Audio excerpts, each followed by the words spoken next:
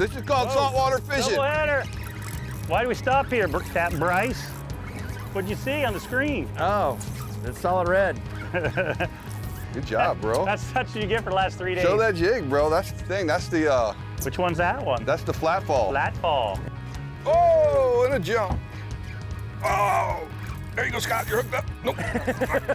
You just never know what it's going to be. The wintertime fishery in Key West rivals anywhere in the world.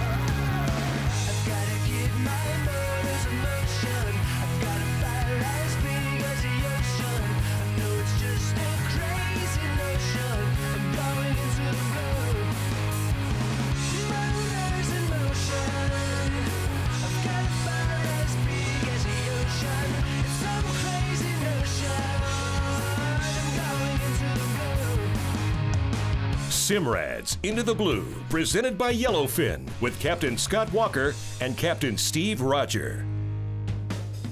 We'll catch a sailfish today. we brought the big guns, right? Captain Brice is gonna put me on a sailfish that actually lives in Key West. I've been told they live here. He's trying not to grab the steering wheel. I'm not, I, hey, I don't need to. I'm to drive. telling you something right now. This, as soon as I get out away from that $10 million yacht, the steering wheel's yours. No, I'm not driving. We hired you.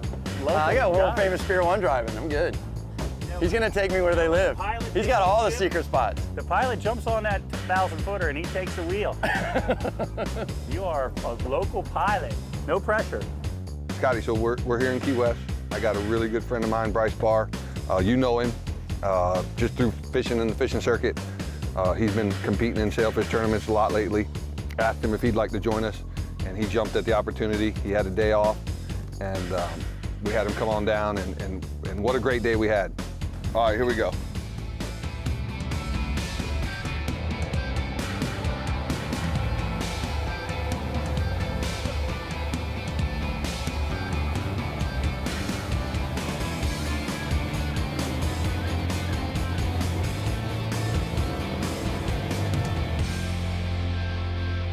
All right, right here. A little deeper. 20 feet. Getting to school Got on him. the side scan. Got him? Yep. I got him. Nice, nice, nice. So Scott, you know, Brice really wanted to try to get some herring. Uh, he, he felt that uh, with all the sailfish around this time of year, that it'd be good to have some, some herring in case we put the kites up or, you know, saw some fish out in the deep water. You know, you guys don't see a whole lot of herring up off a marathon, do you? Oh no, you got to go way back into the Gulf to get them. They don't uh, live out front like they do here. It's, I don't think we had the type of flow that you guys have between the Northwest and Southwest Channel. I say there's about 20 baits in there, maybe. I think we're pretty good with 20, don't you? I mean, for a little bit anyway. A handful more. Try to get out there while it's still morning, early morning.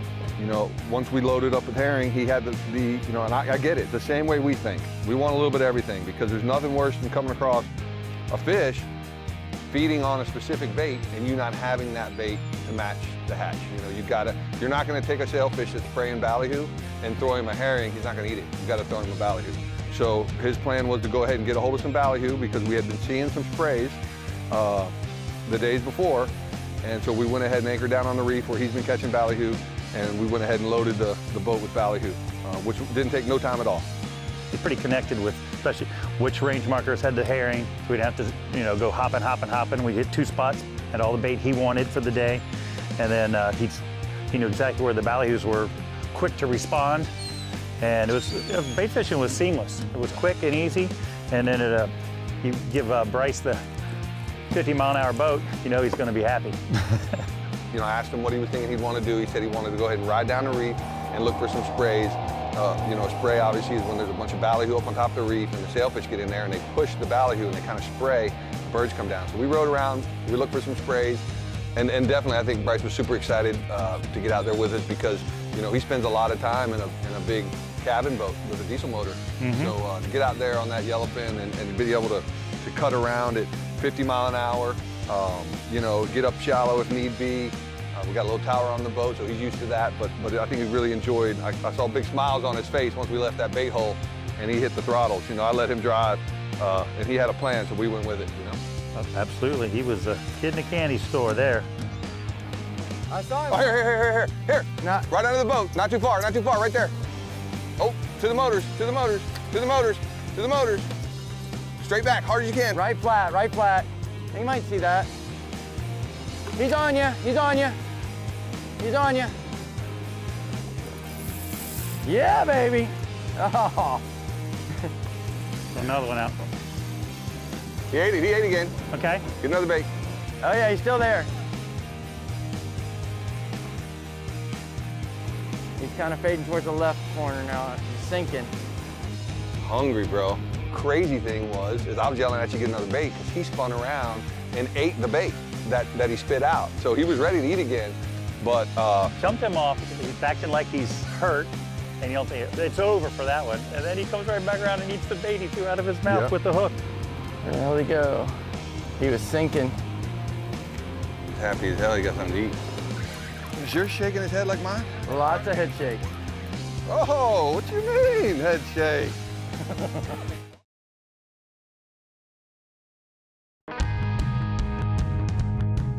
Simrad's Into the Blue, presented by Yellowfin, is brought to you by Simrad. Go with confidence.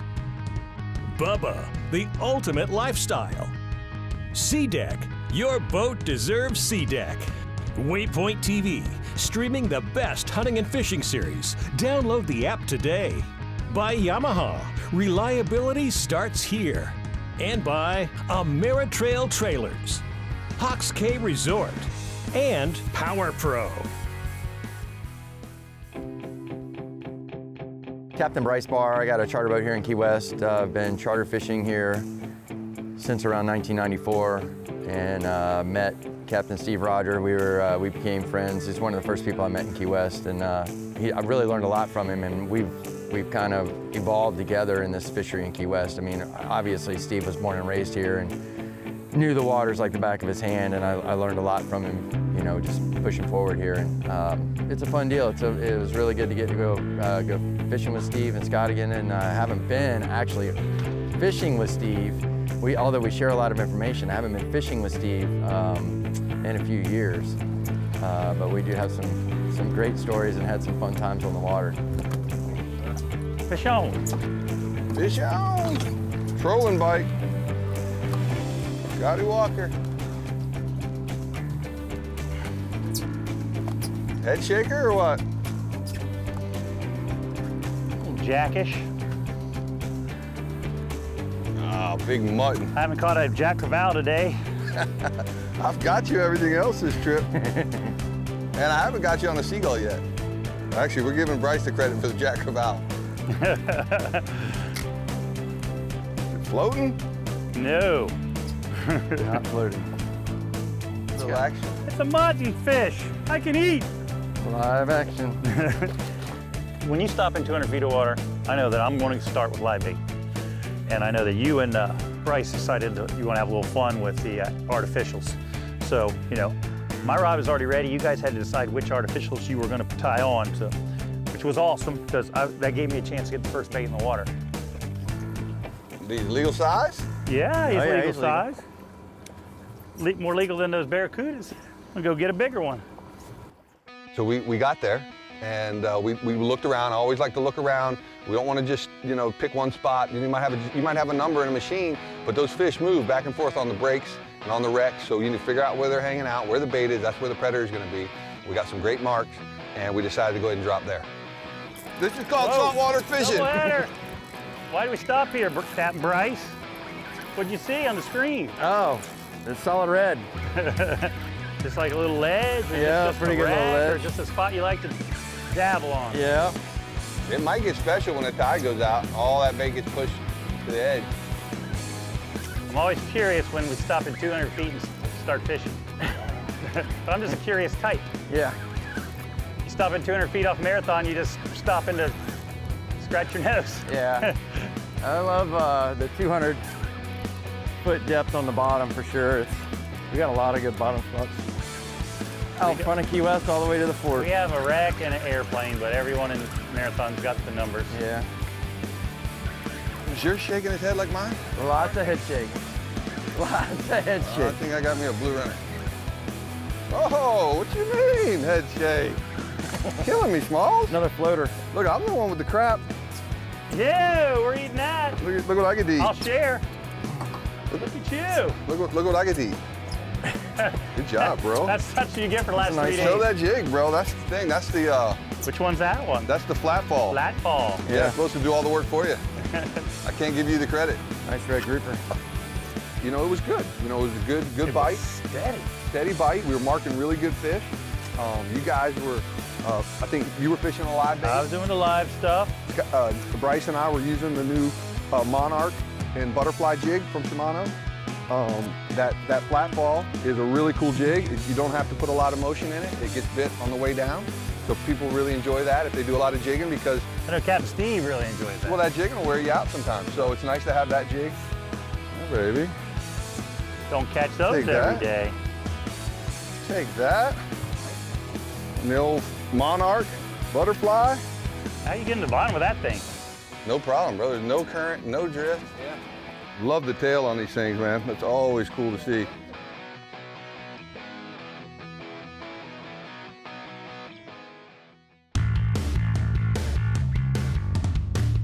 So whether you keep your boat in the water or you keep it in a boat barn, one of the things that is very important is to kind of drop in and check on your trailer every once in a while. A lot of people will take their trailer, drop it off at a storage lot, and not even check on it until it's time to need it. And when it's time to need it, be it a hurricane, listen, we've had a crazy hurricane year. We're in November and we're still dealing with hurricanes. So what you need to do is you need to get in there and check on things. I mean, you can have flat tires, you can have bad bearings, you can have uh, rusted bunks, bolts broken, um, lights not working, numerous things that can go wrong. You need to be prepared because when that storm's barreling down on you, you don't want to have to be fumbling around trying to get parts at the trailer shop.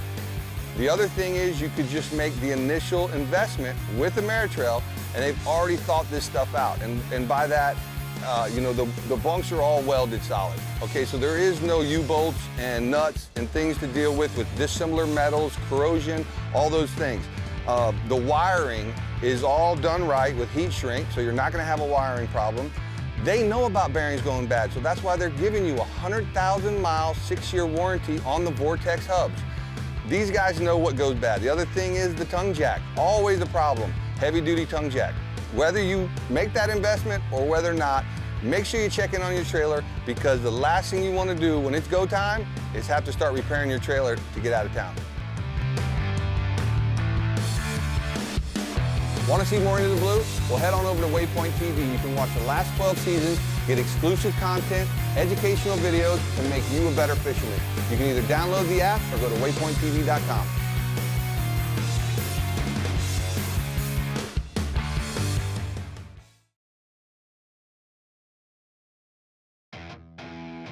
I love fishing in Key West. The fishery here is amazing. There's just so many different things to try for. We got a huge variety of different species to, to catch. Even like today, we did some bottom, we did some pelagics, you know, we pulled off a sailfish. We had, it's just, you never know. You have to have lots of different things rigged for lots of different types of fishing, you know, and we have different baits, different presentations, but it's, it's all kind of a challenge. You know, a lot of places where you go fishing, you're only gonna catch one or two species. Here we could catch, I mean, I've done 20 species on a half day fishing. You just never know what it's gonna be. The wintertime fishery uh, in Key West rivals anywhere in the world.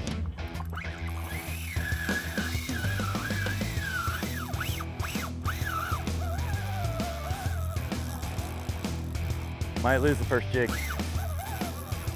I knew something big ate the fish that I had on, but I wasn't exactly sure what it was going to be, you know. And we catch a variety of different things sometimes that eat the fish that we're bringing up, whether it be a big amberjack or possibly even another big grouper or the sharks. And, and sharks are just uh, part of the part of the things that we want to do. One time I had a fish on and I thought it was a shark. I told the guy to break it off and we didn't break it off and ended up being a, about a 50 pound black grouper. But That was a long time ago, Steve. that's not the case right here. Okay, that might have hurt my jigging arm a little bit. I thought I think my jigger's broken also. Oh, I see him. Color. Nice one. oh yeah. Big one, spear one. Big one. Okay, who's the guy who's gonna grab him and pull him over the side? I got you, buddy. You still got a little umph left in you? I got you. That one's not going. Oh, okay. you want to change arms? You know, we were fortunate to get those uh, few nice bottom fish. We got food, we got dinner, and uh, it, it was all in all coming out to be a pretty dang good day. Oh, it was steady. We were, we were, we were there at least an hour and a half, you know? We were hooked up the entire time, whether it was with something we were gonna put in the cooler or something we were letting go. Our poles were bent. All right, he's going. All right, I hope I'm not, not to catch you again for a long time. You want to finish this one off? No, no, I mean, I got you. You need me. I'm good. Can't call me Sally. I'm just trying to dry off here, bro. Guy's not even talking. He's hooked up over there. Silent killer. What does red braid mean? Uh, well, it's no longer green. Okay. So that means I've gained a little bit. Ah, Oh, look at Mutton Mike over there. Oh, Mutton Mike. Gonna let this guy go, boys. I'm not giving you any of my scamps, so if he's 16, you might want to hold on to him. Sometimes those uh, muttons have a hard time making it back down. Captain Brice will fill us in on the, on the latest size limit. He's 18. 18 inches. Is it 18? Goodness. Yeah, we pushed hard for an 18 inch limit. Well, that's the thing, is there's, what they say, they spawn at that age? Yeah, they say a 16 inch fish rarely gets a chance to spawn, but an 18 inch fish likely spawns twice in his life before he's harvested, if he's harvested at that, at that size. So it's way better for the species. Now I know how Scott feels. When I watch the show, I see Scott pulling on all these big fish. Scott's a good, Scott's a good man, bro. Ah, man, He can pull on some Scott, sharks. Scott gets, Scott gets the big. He's not scared to grab the big rod or tangle with an epic battle. Uh, I tell you, to catch a big giant lemon shark like that after a, I don't even know, 45 minute hour battle, I was, uh, I was pretty exhausted. I can tell you that. I'm, I'm usually the one that, uh, that watches my clients pull on big sea monsters like that and don't have to actually do it myself. But There is a monster shark on the end of this. that's a The lemon, lemon, huh? dude. Giant lemon. A lemon shark. I mean, a stud, dude. Scott lost my jig. Dang it. You get five minutes to retie. Dude, that was a nice lemon shark, bro.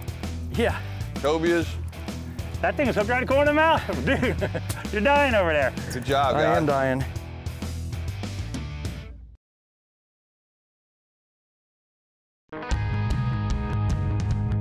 Simrad's Into the Blue, presented by Yellowfin, is brought to you by Yellowfin, only in a Yellowfin.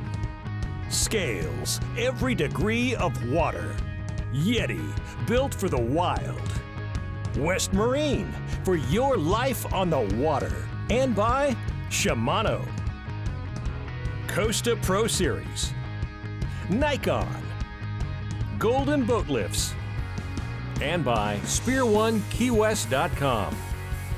Into the Blue is on Instagram, Facebook, YouTube, and Twitter.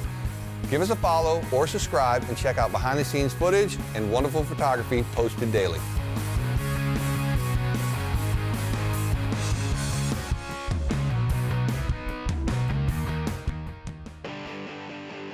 Pretty much after that epic battle of Amberjack and, and Shark, we all took us a little water Gatorade break. And, uh, Much needed, much needed. and Brice happened to see a crate, milk crate floating. And he said, hey, watch out for some mahi, there's a milk crate there. And I'm like, oh, okay, cool. But I was in the process of dropping my, my butterfly jig down, the monarch jig, and it stopped going down. And I'm like, that's really weird. Like, what? I like realized that he's talking to me, and I'm like, what's going on? I look over the side, and there's a nice school of mahi there. Oh, look at here, kingfish. Hey, oh, big mahi, big mahi, big mahi. I, call, I called Here, it. here, right on the bow. They're not hanging out because he ate three of them. He ate my jig. Hurry up. I got the big one there. Come on, come on, come on, come on, girl. Come on, girl. What? Oh, denial. I think they ate my jig. My jig was falling. I couldn't understand what was up. There's a bigger one. Come on, come on, come on, come on. There we go, here we go. Oh, this is magic. I told Brice, I said, I just if said. they're on the floater, they're here. I just told you. The floater's three feet away. There's one for everybody. Uh, you know, and just today, everybody was in the game. We were all working together, you know, over and under. And, and uh, the mahis are, are some of the most exciting fish that we catch. We call them the perfect game fish. I mean, it's a beautiful fish. They fight hard, they pull hard. They're uh, aggressive, voracious feeders. They're beautiful and they're easy to clean and they taste good. There's like nothing more you could ask for out of a fish. They're some of our favorite fish to catch here in the Keys. That's a good way to end it right there, gentlemen. From a shark to a triple mahi. Killer? No pick gaffs allowed. No pick gaffs. Allowed. Woo! Yeah. mahi. Beautiful. Welcome on up here, Cap. Bring a pair of pliers. Nice fish, Steve. Yeah, man. Good thing you were paying attention. Circle hook right in the corner, Scott. This one's ready to go. Make it as clean as possible, bro. You think that little thing tickles them before you stick them? A little hanger? That's what I was wondering. Awesome, brother. Nice fish. Thank you. Nice little mahi for the box. Thank you, Cap. I'll move them up for the ride home after. Awesome. He's not ready. I just got the trophy. That's the indicator that you're about to stick him. Means you're ready. Yeah. Somebody's got three lines out over there. Got a little fight left in him. Take your time. Woo! Oh, what a jump. Oh! There you go, Scott. You're hooked up. Nope.